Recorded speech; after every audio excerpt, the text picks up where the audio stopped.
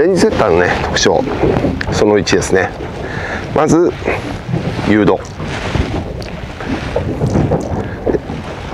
でこれはね何度も私が、えー動画の中で今チャンネルの中でねお話しさせていただいてるこのヘッドが先に落ちて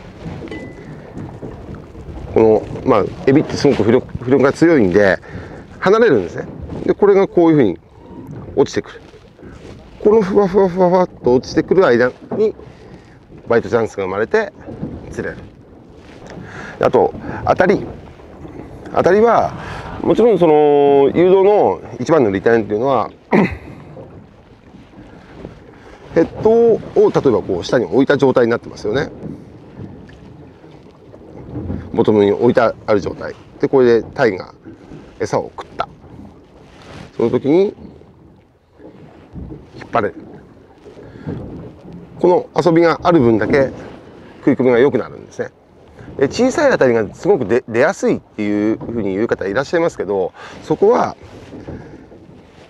上の、まあ、P だったりこのラインですね。ラインのスラックが多いとどうしても当たりが小さくなっていってしまう。さっき言ったリフトをした時もそうです、えーフォールをかけた時もそうなんですけど止めるっていう動作をしてあげることによってこのライ緩んでたラインスラックがきっちり取れてくるんでそうすれば必ず当たりは大きく出てきます。